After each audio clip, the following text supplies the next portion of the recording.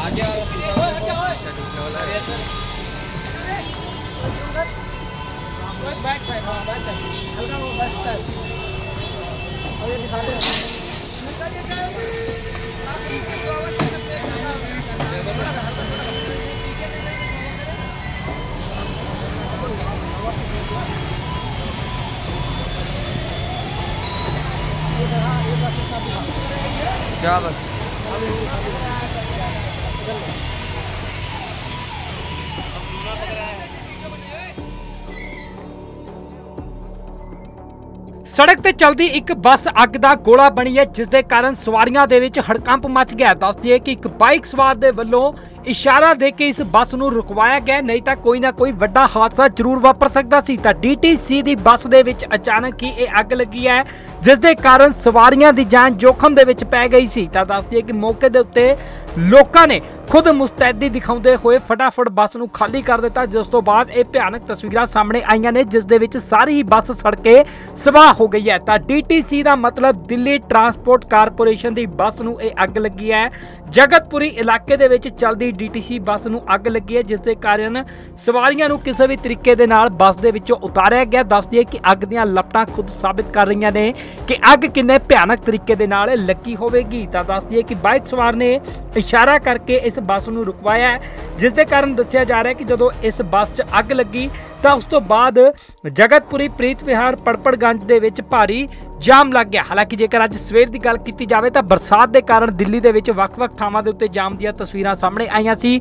ਪਰ ਹੁਣ ਇਹ ਵੱਡੀ ਖਬਰ ਸਾਹਮਣੇ ਨਿਕਲ ਕੇ ਆ ਰਹੀ ਹੈ ਕਿ ਇੱਕ ਡੀਟੀਸੀ ਦੀ ਚਲਦੀ ਬੱਸ ਨੂੰ ਅਚਾਨਕ ਅੱਗ ਲੱਗ ਗਈ। ਸਵਾਰੀਆਂ ਦੇ ਨਾਲ ਭਰੀ ਹੋਈ ਇਹ ਬੱਸ ਦੱਸੀ ਜਾ ਰਹੀ ਹੈ। ਇੱਕ ਬਾਈਕ ਸਵਾਰ ਦੇ ਵੱਲੋਂ ਜਦੋਂ ਡਰਾਈਵਰ ਨੂੰ ਇਸ਼ਾਰਾ ਕੀਤਾ ਗਿਆ ਤਾਂ ਉਸ ਤੋਂ ਬਾਅਦ ਇਸ ਬੱਸ ਨੂੰ ਰੋਕਿਆ ਜਾਂਦਾ ਹੈ। ਜਿਵੇਂ ਹੀ ਕਿਹਾ ਜਾ ਰਿਹਾ ਕਿ ਇਸ 'ਚੋਂ ਸਵਾਰੀਆਂ ਬਾਹਰ ਨਿਕਲਦੀਆਂ ਨੇ ਤਾਂ ਅੱਗ ਦਾ ਭਾਂਪੜ ਇਸ ਬੱਸ ਦੇ ਵਿੱਚ ਮੱਚ ਜਾਂਦਾ ਹੈ। ਤਾਂ ਤਸਵੀਰਾਂ ਦੇ ਵਿੱਚ ਸਾਫ਼ ਦੇਖਿਆ ਜਾ ਸਕਦਾ ਹੈ ਕਿ ਅੱਗ ਕਿੰਨੇ ਭਿਆਨਕ ਤਰੀਕੇ ਦੇ ਨਾਲ ਲੱਗੀ ਹੋਈ ਹੈ।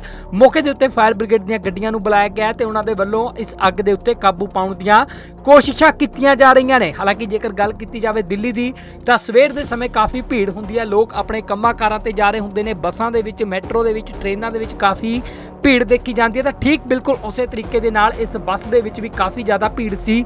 ਤੇ ਸਭ ਤੋਂ ਪਹਿਲਾਂ ਇਸ ਦੇ ਪਿਛਲੇ ਪਾਸੇ ਦੱਸਿਆ ਜਾ ਰਿਹਾ ਹੈ ਕਿ ਜਦੋਂ ਅੱਗ ਲੱਗਦੀ ਹੈ ਤਾਂ ਇੱਕ ਬਾਈਕ ਸਵਾਰ ਦੇ ਵੱਲੋਂ ਇਸ ਅੱਗ ਨੂੰ ਦੇਖਿਆ ਜਾਂਦਾ ਹੈ। ਉਸ ਦੇ ਵੱਲੋਂ ਤੁਰੰਤ ਜੋ ਹੈ ਡਰਾਈਵਰ ਨੂੰ ਇਸ਼ਾਰਾ ਦਿੱਤਾ ਜਾਂਦਾ ਪਰ ਡਰਾਈਵਰ ਜੋ ਹੈ ਅੱਗੇ ਚੱਲਦਾ ਰਹਿੰਦਾ ਹੈ, ਪਰ ਜਦੋਂ ਬਾਈਕ ਸਵਾਰ ਆਪਣੇ ਬਾਈਕ ਨੂੰ ਬੱਸ ਦੇ ਅੱਗੇ ਲਾ ਕੇ ਡਰਾਈਵਰ ਨੂੰ ਬੱਸ ਰੋਕਣ ਦੇ ਲਈ ਕਹਿੰਦਾ ਤਾਂ ਉਸ ਤੋਂ ਬਾਅਦ ਦੇ ਵਿੱਚ ਤੁਰੰਤ ਡਰਾਈਵਰ ਬਾਹਰ ਉਤਰਦਾ ਹੈ ਤੇ ਦੇਖਦਾ ਹੈ ਅੱਗ ਜੋ ਹੈ ਕਾਫੀ ਤੇਜ਼ੀ ਦੇ ਨਾਲ ਵੱਧ ਰਹੀ ਹੁੰਦੀ ਹੈ ਤੇ ਸਵਾਰੀਆਂ ਨੂੰ ਇਸ ਬੱਸ ਦੇ ਵਿੱਚੋਂ ਬਾਹਰ ਉਤਾਰਿਆ ਜਾਂਦਾ ਹੈ, ਜਿਸ ਦੇ ਕਾਰਨ ਸਵਾਰੀਆਂ ਦਾ ਬਚਾਅ ਹੋਇਆ ਫਿਲਹਾਲ ਕਿਸੇ ਵੀ ਜਾਨੀ ਨੁਕਸਾਨ ਦੀ ਖਬਰ ਸਾਹਮਣੇ ਨਹੀਂ ਆਈ ਹੈ, ਪਰ ਕਿਤੇ ਨਾ ਕਿਤੇ ਕਿਹਾ ਜਾ ਸਕਦਾ ਹੈ ਕਿ ਇੱਕ ਵੱਡਾ ਹਾਦਸਾ ਜ਼ਰੂਰ ਵਾਪਰ ਸਕਦਾ ਸੀ। ਤਾਂ ਜਿ- ਦਿੱਲੀ ਦੇ ਜਗਤਪੁਰੀ ਇਲਾਕੇ ਦੇ ਵਿੱਚ ਇੱਕ ਡੀਟੀਸੀ ਦੀ ਬੱਸ ਨੂੰ ਅੱਗ ਲੱਗੀ ਹੈ।